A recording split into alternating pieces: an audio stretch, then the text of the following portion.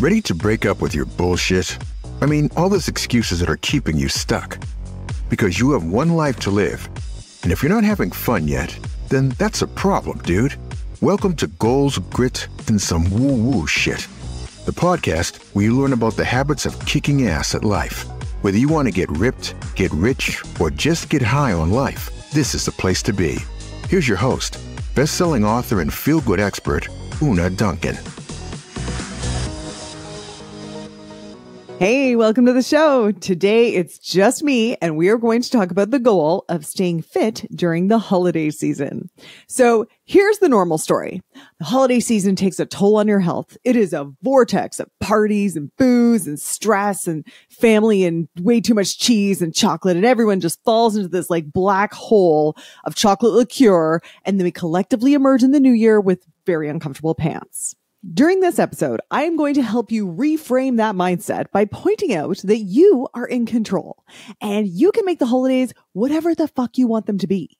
I am going to convince you that they can be good for your health and your fitness goals. Then I'm going to give you some practical tips so that you can make this holiday season the one that you emerge in the new year feeling like a freaking goddess or god or whatever.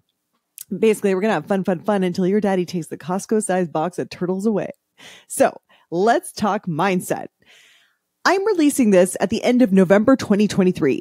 And no matter what your yearly pattern has been around the holidays, I'm inviting you to rethink your upcoming holiday season and what it can mean for your health.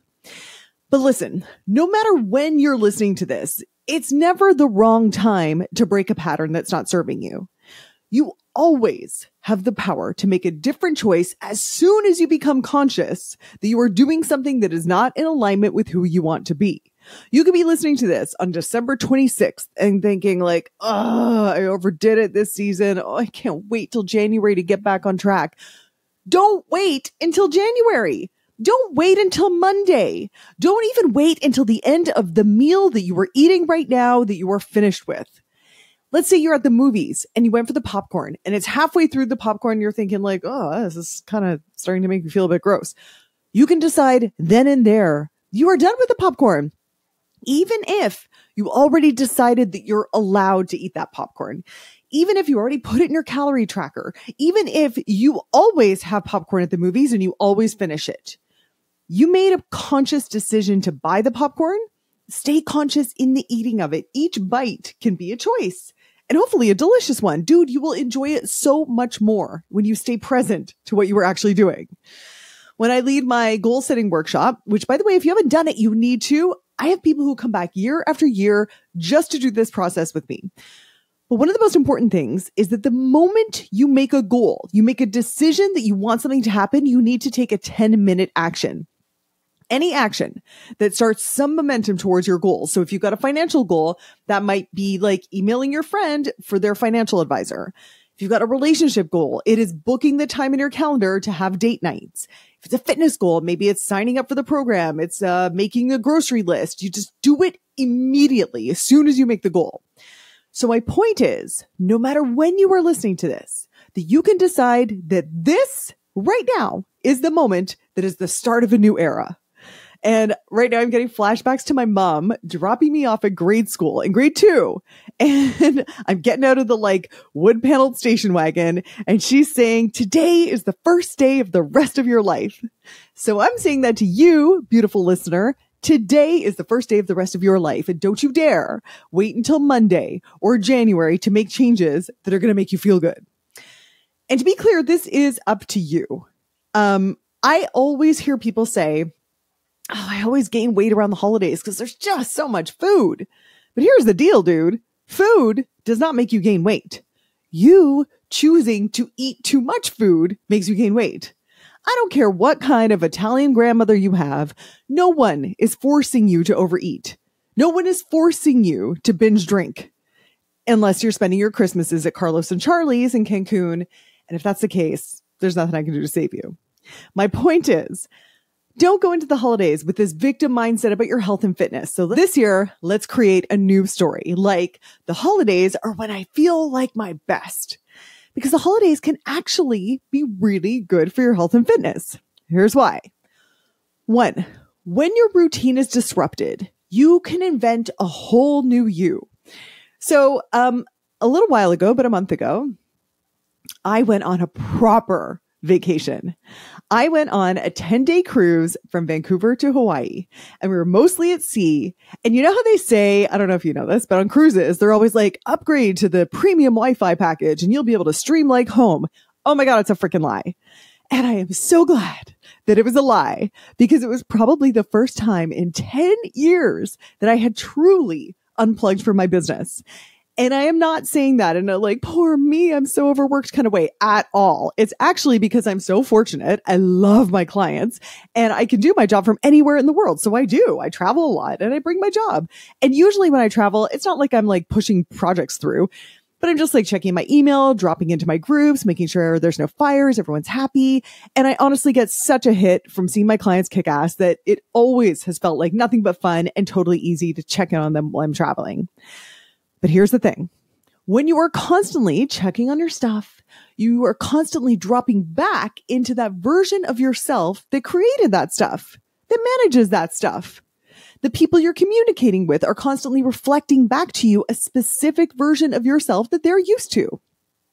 When you take some space, it gives you a chance to explore other possibilities to explore a version of you that's maybe more expansive, that's uh, more updated. Maybe it's more authentic to who you want to be right now. And by the way, this feels like a very obvious moment to plug my upcoming retreat. Dudes, we are going to Spain at the end of May 2024. So if you want to jump out of your life and come back to it like a different version of you that's like healthier and happier, that is exactly what's going to happen there. I'll put the link in the show notes or DM me if you have any questions about that. But back to the holidays. One of the reasons that the holidays can feel so overwhelming is because all of your healthy routines get totally kiboshed. Kids are home from school, you're traveling, there's some freaking psychos planning parties on weeknights and expecting you to stay up past 9 p.m. It is my hope that in your normal life, you've probably established like a healthy habit loop or two. And if you don't know what I'm talking about when I say habit loops, check out my book. It's called Healthy as Fuck. It, it's probably still even free on Audible. Anyway, your habit loops might look something like this. You might have um trigger, it's 6 a.m. Behavior, I do my yoga. Reward, I have my smoothie and I check in with my accountability group. You probably have routines that you've got on autopilot and you don't even need to think about them right now. It's like a non negotiable that has served you so well and it makes you feel great. And if that's true, by the way, oh my gosh, congratulations, you are fucking awesome. And then along comes the holidays and your new home is the pull-out couch at your sister-in-law's or maybe you're hosting like eight grandchildren who need pancakes at 5 a.m or someone at work is doing a cookie exchange and you know you've been kind of avoiding sugar but there's something about raw cookie dough that like collapses your entire sense of self. In short the holidays start messing with your habits. Well let me point out the opportunity in that. Healthy habits are awesome because once established, they take some work to establish, but once you've established them, they require no brain power. Like that is the beautiful gift of habits. You just do them automatically. They're who you are. No big whoop. No big whoop until you start to see the results of doing these things consistently. And then you're like, whoa, whoop. It's great. And here's what's great about disrupting them. It's a chance to go off autopilot and actually choose your actions with intention. So I'll give you an example. In my normal life, I have a smoothie for breakfast. I've probably done this for about 10 years. I do not think about this. When I was on that cruise, I didn't have the option for a smoothie. So every morning I had to think about it. I was like, what does my body want for breakfast? What would feel good? And it might be your habit, for example, to go for a run before work. But when you consciously choose to go for a run on Christmas morning before you spike your coffee with Bailey's, that is the serious win and it's going to make you a lot more tolerant of your family for the rest of the day. The, the run, I mean, not the Baileys. The point is when you go off autopilot, when you get out of your normal routine for a bit, it gives you a chance to tune in and to refine what's actually going to make you feel good right now, which is, of course, the whole point. Okay. Reason number two that the holidays can be great for your fitness habits is that it is a time to enlist social support. So one of the biggest predictors of lifetime adherence to healthy habits is family and social support. I'm sure you've heard this a million times. And this is so strong that people who participate in group exercise programs are six times more likely to stick with their exercise program and therefore achieve their goals. So chances are that during the holidays, you are going to be spending some extra time with the people closest to you. And this is your chance to enlist their support and to reinforce your identity as a fit person. You can do stuff like request and supply healthier options to the normal holiday food. You can ask for and give fitness related gifts. And by the way, I have an awesome list of fitness gift ideas. I will link that in the show notes as well. You can suggest that your family does a post dinner dance party. My family and I, we just go to YouTube, we Google Just Dance, Uptown Funk, or whatever song everyone's going to like. And then we do the Just Dance uh, video game as if it's like a video game, but it's not just a video. It works great. Okay. Um, you can suggest that everybody goes for a morning hike after opening presents. Now I know you might be thinking, okay, Oonagh, you don't get it. My mom is like Patsy from Absolutely Fabulous. My husband is like Stanley from The Office. And my son is like the comic book guy from The Simpsons. No one is going to bite on that hike thing. That might be true. So this is your opportunity to lead by example. And even if your actions have like zero influence on the people around you, which by the way, I bet you were underestimating, this is your chance to be out and proud about who you are. So a couple of years ago, my client Rebecca was kind of nervous because she was going to stay at her in-laws house for Christmas. And she thought it would be embarrassing to do her workout video in their living room. She's kind of a new exerciser. She's kind of shy about it. That's totally understandable, right? But she did it anyway, which is fucking badass. And the next year when she showed up, they had like created some space for her and there was new people there and her in-laws said, Oh, that's just what Becca does. She's one of those fitness people.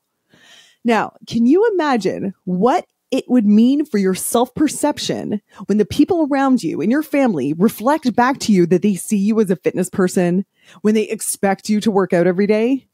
And when you have that identity and when it's reinforced like that, that's when the habits start happening automatically. And then that's when the results happen. Okay. The third way that the holidays can be good for your health is the cheese. And no, I'm not talking about double cream brie.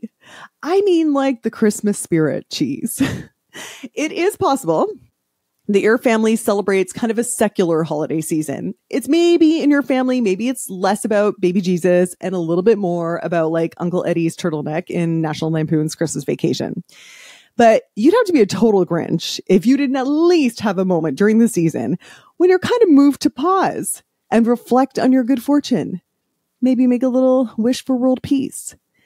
And if that sentiment carries out to maybe participating in your local faith community or volunteering with your local food bank, there is so much to indicate that's really good for your health, dude.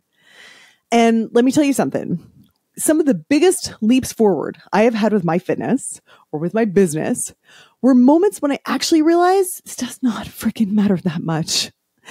When I realized that the problem that I had been like mind fucking all day and night was actually not that much of a problem.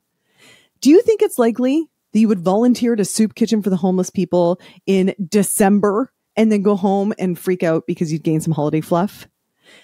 And I am not saying that to like first world guilt you at all. Everybody has their problems. Everyone's problems are real to them. But when you take some time out over the holidays to reflect on gratitude, to connect with people you love so much, and maybe be of service to people who aren't as fortunate. It might give you some perspective and it might silence some of that mind chatter that's just not serving you. And as a reminder, all of that self judgment and food guilt and whatever else is going on in your brain, it isn't serving you. I've said this before, but I'm going to say it on every freaking podcast episode if I have to. No one has ever hated themselves into a body that they love. That just doesn't work feeling good and loving yourself right now, it works way better and it's way more enjoyable. And what better time to enjoy yourself than over the holidays? And by the way, if you love the annual ritual of suspending all of your healthy living habits and rules and just like indulging in the big sloppy glittery mess of the holidays, then awesome. I salute you for being intentional in your choices and I will see you in January with open arms and lots of vegetables. But if you're here at the end of November, cringing at the inevitability of being 10 pounds heavier a month from now, I invite you to remember that you can create any kind of freaking holidays you want and that you are in control of your own life. So that's the mindset piece. And if keeping a fingernail hold on your fitness during December is a priority for you, here are my top three tips to make sure that that happens. Tip number one, you have to get rid of the all or nothing mentality. Dude, you can have some eggnog. You just don't have to have it every day for a week. You can have a drink at the party. You don't have to get shit faced. you, if you can't do your regular workout, you can still try to get your 10,000 steps in. You can eat some of that awesome cake, but you don't have to even it out in the pan until you've actually eaten half of it. Like you can let that icing be a little bit uneven on the left side and just put it back in the fridge. Okay. Seriously. If you have that, well, I've broken my diet, so fuck it. I'll fix it in January. Dude, that is your brain selling you tickets to the diet roller coaster. And I guarantee you do not want to take that ride. Okay. Tip number two is keep exercising. Exercising is the keystone habit that I prioritize over the holidays. And this is what we do in my communities. We do a program called Get Better in December. And every freaking year, my clients get measurably fitter in December and we start the year feeling so strong. So let me explain how this works. As I've mentioned before, it's not that exercising is going to burn off all the extra calories. Okay. Exercising, it increases your mood. It relieves stress. It reminds you that you are a healthy motherfucker and that's what's going to happen. All right. And that what's going to make you way less likely to eat all of those extra calories in the first place. Okay. That mood enhancement, that stress relief in general is just going to make you happier over the holidays and a better person to be around. And this is why I 10 out of 10 recommend find a way to squeeze in a workout. And again, it doesn't have to be your usual hour long class. 20 minutes of solid intensity done in your home will absolutely do the trick. And if you want some follow along videos for that, send me a DM. I got you. But even just like, dude, you can't handle that. Go for a walk around the block. Remember, we're ditching the all or nothing mentality here. Every little bit counts. Okay. Final tip to keep a fingernail hold on your fitness over the holidays is it just goes back to being intentional. So I have a practice that I got from Abraham Hicks. It's called segment intentions. So I do this as part of my morning routine. I do my gratitude. I reflect on my goals and I set segment intentions. I'll look at my calendar and I'll see what I've got going on. And then I'll set an intention for how I want to feel during that segment. So I'll look and I'll be like, okay, I got a team meeting I want to feel during my team meeting? I was like, oh yeah, I want to feel like a really good leader. I want to feel supported by my team. I want to feel confident. I want to feel excited about where the company is going. And then I got my workout and I want to feel, oh, I want to feel strong. I want to feel triumphant. I want to feel energized. And I got a date with my husband. Oh, I want to feel connected. I want to feel flirty. I want to feel a little girly. I will write that shit down because I'm telling my brain, this is the plan. This is what we're aiming for. And you might be wondering, well, why don't you just write down concrete measurable goals for each of those segments? Because you might remember from my book, it's actually the feeling that we really want. The only reason we want those goals is because of the feeling we think we're going to have when we get those goals. So really, the best thing to do is to practice by skipping directly to the feeling right now. Practice it. And not only will that make you happier, but also you'll probably be more likely to get your goals when you're in that state. Okay. So for you, as you navigate your holiday season, be intentional with how you want to feel. Before you go to the holiday office party, you could decide, I want to feel relaxed. I want to laugh a lot. I want to feel popular. I want to feel beautiful. Like you decide. And if you do that moment by moment as you navigate your holiday season, if you take a breath and you decide how you want to feel before you dig into a holiday meal, before you ring the bell at a party, before you wake up and open presents, I guarantee that you will have a healthier and happier holiday season. So there you have it, lovely listener. No matter when you are listening to this, you could be, if you want, at the precipice of a new era, an era in which you can choose to repeat your previous patterns if they serve you, or you could invent a totally new reality if that's what you want. If you want to create a reality where the holidays are when you feel the most happy, healthy, and the most like yourself, that is totally possible for you. You can leverage the benefits of getting out of your routine and choose intentionally. You can get support or just solidify your identity by acting like a healthy person around your loved ones. And you can lean into the whole holiday spirit thing and take some space to get grateful, count your blessings, so that all that guilt and fitness shaming that might be happening in your head recedes to a more appropriate volume. And if staying fit over the holidays is important to you, what you got to do is you got to ditch the all or nothing mentality that is trying to convince you that you can fix it in January. You're going to keep on moving your body so that you stay upbeat and energized and solid in your identity of the healthy MFer that you are. And you are going to allow yourself to do whatever you want this holiday season. Staying fit is not about deprivation. It's about being intentional with how you want to feel and then making that happen. So we are just at the outset now of the holiday season, 2023. But my wish for you is that you feel light and bright and gorgeous and playful and wrapped in love this holiday season. So let's make it happen, dude. Hey, dude, thanks for listening. If you like this episode, make sure you're subscribed so you can get the next one. And by the way, if you rate and review this podcast, it really helps me get found by other people who need some goals, grit, and some woo woo shit. And be sure to connect and DM me at Oonagh Duncan on Instagram and let me know what you thought of the episode. Chat soon.